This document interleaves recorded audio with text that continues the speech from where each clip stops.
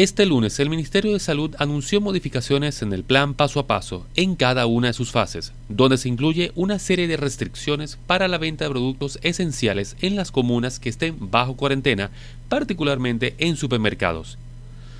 De acuerdo al documento elaborado por los Ministerios de Salud, Economía e Interior, impone nuevos cambios en el funcionamiento del comercio que permanecerá abierto durante la cuarentena, permitiendo la venta presencial solo de lo considerado esencial, es decir, el área de alimentos, farmacia y ferretería, tanto en comercio mayor como detallista. De esta forma, en los supermercados no se permitirá la venta presencial en torno a decoración del hogar, electrodomésticos, incluidos televisores y videojuegos, así como también línea blanca, juguetería, vestuario y artículos deportivos. Por otro lado, la venta de electrodomésticos, decoración del hogar, ropa o línea blanca quedará limitada al comercio online y con despacho al hogar.